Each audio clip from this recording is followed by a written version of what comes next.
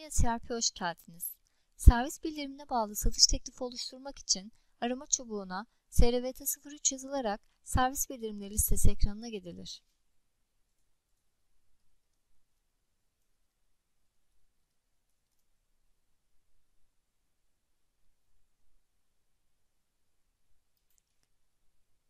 Listeleme işlemi yapıldıktan sonra satış teklifi oluşturulacak servis bildirimi seçilir ve değiştir butonuna basılır.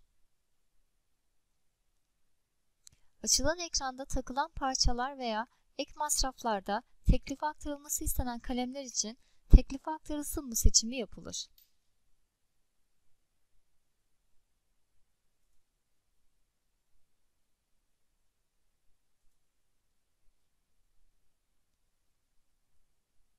Satış belge listesi sekmesinden veya ilk ekrandaki Yeni teklif belgesi oluştur butonundan Satış belgesi ekranına gidilir.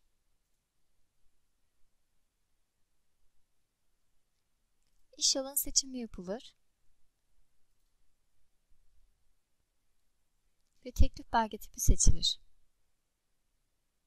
Onay butonuna basılır.